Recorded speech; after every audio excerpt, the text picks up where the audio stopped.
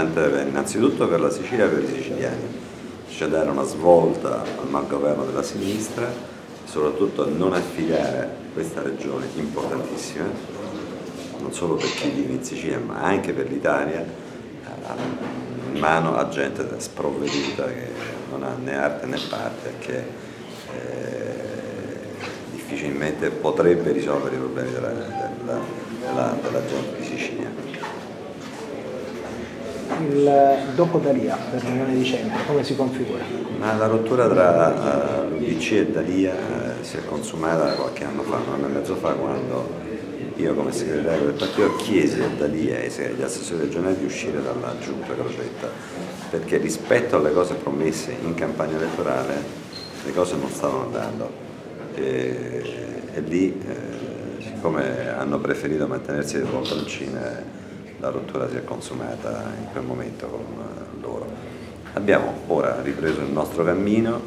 eh, ci siamo collocati nel centro-destra, abbiamo orgogliosamente scelto Musumeci come candidato presidente, ritenendolo la persona più giusta in questo momento che potesse guidare la regione Sicilia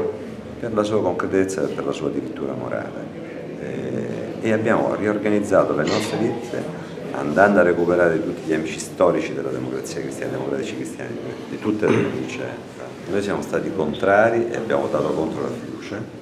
perché ritenevamo che non fosse quello il metodo per arrivare all'approvazione di una nuova legge elettorale.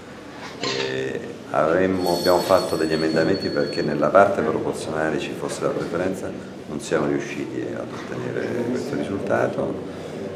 quindi dobbiamo affrontare la campagna elettorale con questa legge L'aspetto positivo di questa legge, l'unico aspetto positivo per quanto ci riguarda, è che essendoci collegio nominali, la gente almeno,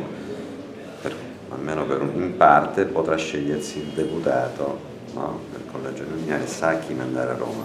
Ecco, noi avremmo comunque preferito che anche nella parte proporzionale fosse data la possibilità alla, alla, ai cittadini di potersi scegliersi l'eletto, perché questa è stata la nostra battaglia parlamentare ed è il motivo per cui non abbiamo votato.